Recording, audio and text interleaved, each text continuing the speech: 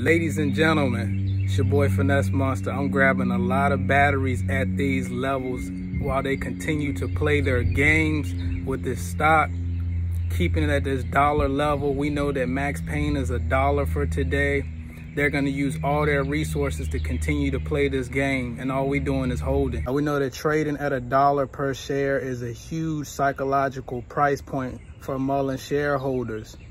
They want to teeter-totter us on, at these price ranges for as long as they can because it wants to they want to put fear in investors.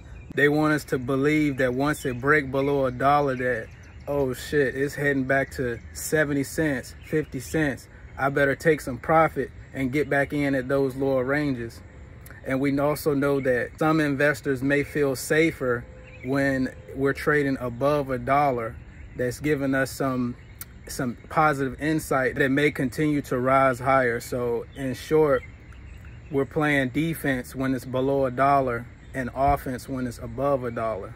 Just recently announced Melvin Capital is shutting down its hedge fund and trying to return capital into investors' hands. The fund tried for over a year after 2021's losses with GameStop bets to recoup and try to make up for those losses, but they failed to do so. Now here's a tweet that came out last night from the butcher of Wall Street saying that margin calls are on the horizon heavy for these short sellers and you can see that Mullen is tagged into one of the uh, short squeeze catalyst plays that he's talking about.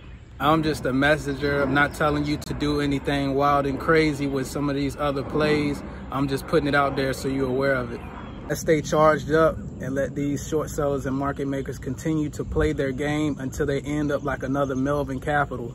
That's all I got for this video. Make sure you like, comment, subscribe. Add your boy on IG at The Finesse Monster. Thank y'all for tuning in. Stay bullish.